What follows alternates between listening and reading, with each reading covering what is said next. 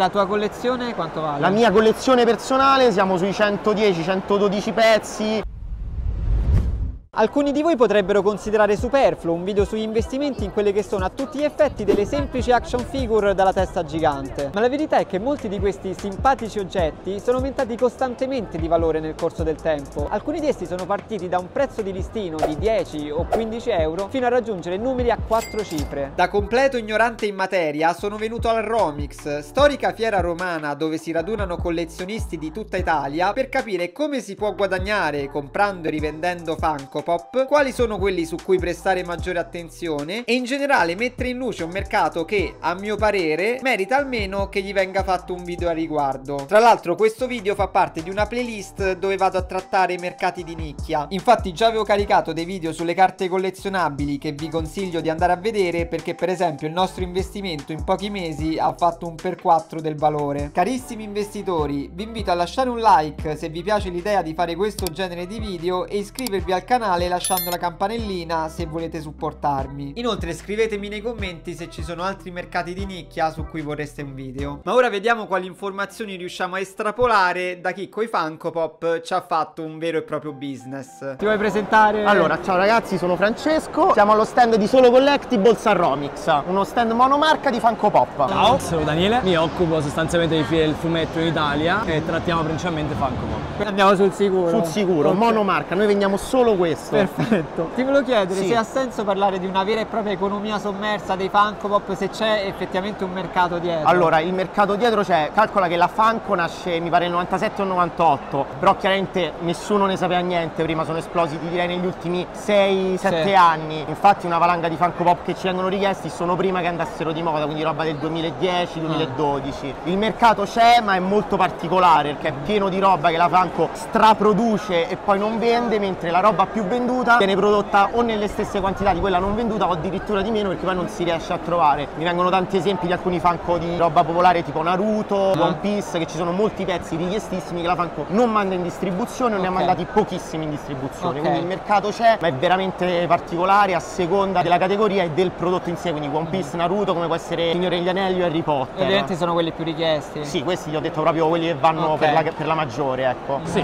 c'è un mercato vasto dietro Funko Pop a partire da Funko Regular a Funko Volted che nel tempo acquisiscono un prezzo, quindi okay. a seconda del pezzo di cui parliamo può aumentare o può scendere il tempo come qualunque prodotto del resto. Ok. Potrebbe avere senso secondo te investire nei Funko Pop? Oggi sì, ma come prima sostanzialmente ci sono alcuni pezzi che nel tempo appunto possono aumentare di prezzo, mentre altri no, che sono dei semplici pezzi che vengono ristampati per decine di migliaia di volte. Ti direi di sì, proprio alla base sì, perché come qualunque cosa che appunto va sold out, la rivendo a un prezzo più alto, però tante volte capita che ci sono pezzi, anche quelli che vengono chiamati bollinati, quindi delle fiere, i Comic Con, eh, che sono pezzi che uno prende prende magari a 30-40 euro quando escono, li prende per rivenderli e poi scendono. Per esempio è successo proprio, ci sono dei pop di Demon Slayer, non hanno fatto il botto che ci si aspettava e ah. chi li ha presi ha piato la sola. Adesso valgono di meno di... Valgono quello che stanno al sito massimo, ma pure qualche okay. euro in meno, ecco. Okay. Mentre mi viene in mente le barche di One Piece, che chi segue i Funko le conosce, hanno tutto il prezzo di listino a 40 euro, ma adesso quella che prendi a di meno è la Merry a 60-65. Okay. Le barche di One Piece sono un esempio di investimento. Un investimento può essere anche un un pop che prendi, tieni in perfette condizioni e lo tieni per 10 anni, vedi che ne so, il Ghostface di Scream o altri pezzi molto vecchi dell'horror. Quali sono i banco dove prestare maggiore attenzione, quelli che potrebbero valutarsi di più nel tempo? Allora, ci sono dei Funko limitati, vi faccio l'esempio gli NFT, okay. in quel caso lì ne vengono stampati un migliaio per modello, in quel caso lì ecco, sai che ce ne sono mille al mondo, trovarne integri magari ce ne saranno boh, 600 integri. O magari, che ne so, vi faccio l'esempio banale delle Chase, di questa, la differenza sostanziale sostanziale è che un sesto di queste viene prodotta come chase. E il che cos'è una chase ce l'ha spiegato molto bene questo ragazzo del Covo del Nerd, di cui purtroppo il microfono Bluetooth non mi ha registrato l'audio. Ma da quello che ci ha raccontato, le chase vengono date solamente quando si acquista un intero box di un determinato Funko Pop. Per intenderci, se prendiamo un box pieno di Sharks di One Piece, tipo 1 su 6 sarà una chase. Il che vuol dire che avrà una piccola caratteristica che lo differisce dagli altri, che insieme alla sua maggiore maggiore rarità contribuisce ad aumentarne il valore e la rivendibilità in futuro. Quindi in generale se di queste vengono stampate 6.000, un sesto sarà una chase. Da tenere sott'occhio gli horror, anche se di nicchia, vanno sempre tantissimo. Ok, interessante. E gli animation, però gli animation ne fanno talmente tanti e talmente tanta monnezza, vedi, lo dico onestamente, My Hero Academia è monnezza, a parte 4-5 pop, devi avere l'occhio lungo per animation, mentre sull'horror, sai, il film famoso, il pop famoso è più facile da individuare. Spesso alcuni personaggi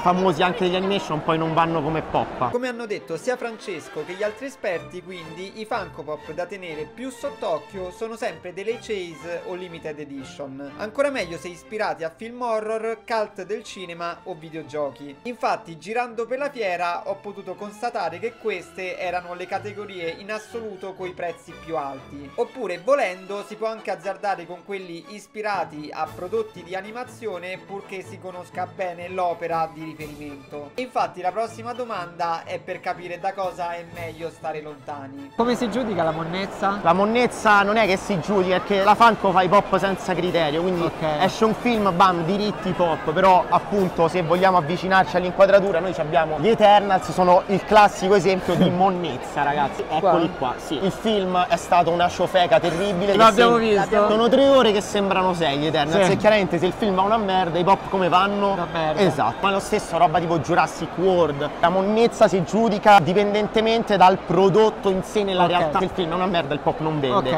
I soliti, ripetiamo, One Piece, gli horror, ma anche la Marvel, però dipende dal film bello. Sì, cioè, sì, l'Iron sì. Man chiaramente lo vogliono Oh, tutti, certo. Tony Stark che schiocca le dita lo vogliono tutti, Thor con lo Stormbreaker lo vogliono tutti, quindi ecco, Pure- tutto un dipende. Ok. Perché anche nella collana appunto animation, che è quella che va forte, poi è piena di roba che non va. Basta intendersene un minimo di cultura pop. Sì, eh, se io sono un fan di My Hero Academia, lo so quali sono i pop che possono andare Ok. e quali non possono andare. Certo. Poi, dato che Daniele prima ha fatto riferimento agli NFT, gli ho voluto chiedere: Funko Pop come azienda fanno qualcosa anche nell'ambito NFT? Sì, attualmente sì. Puoi aprire dal portale Funko Pop delle Ok. NFT, c'è un sito apposito, delle bustine, ti possono uscire uno svaio di NFT, tra cui ti possono uscire quelli Grail che ti garantiscono una Funko Pop fisica Ok. limitata ad alcuni pezzi. Ok, quindi è E ulteriormente NFT. l'NFT, hai sia l'NFT, quello digitale, che il prodotto fisico nel caso in cui ti esce quell'esatto NFT. Figo. Qual è in genere il prezzo di listino dei Funko Pop da I negozio? Funko Pop possono partire da prezzi 17,90, 18,90 fino a Funko che di standard possono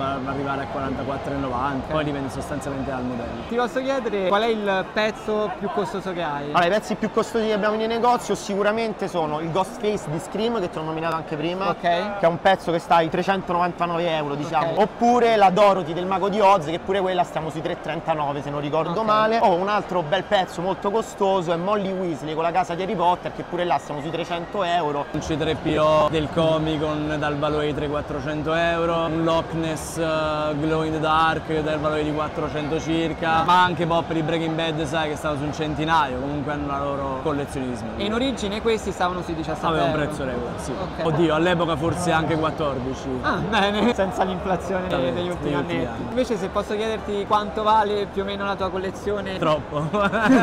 Troppo.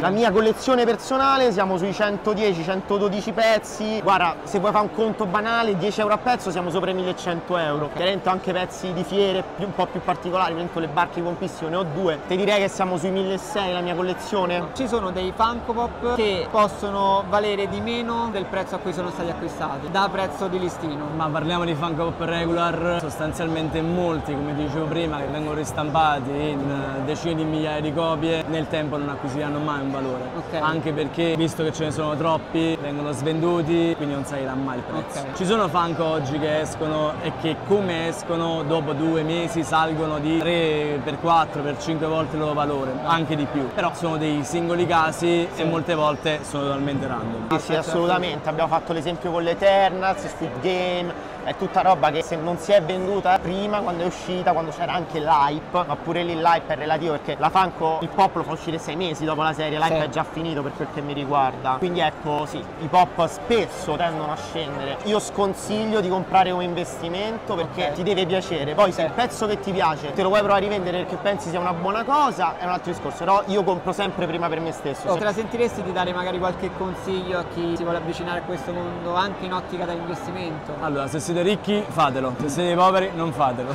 è un mondo costoso, dietro ci spendi un fottio, una volta che inizi è una droga, non ne esci più. Carissimi investitori, anche questo evento è finito, abbiamo capito che forse i Funko Pop non sono proprio l'investimento ideale, però sicuramente anche loro possono dare soddisfazioni, soprattutto se riusciamo a comprare il Funko Pop giusto. Piccola nota da aggiungere, ricordatevi sempre che il mercato è fatto dalle persone, da domanda e offerta e in questo caso la domanda è rappresentata da nerd che appunto vogliono comprarli.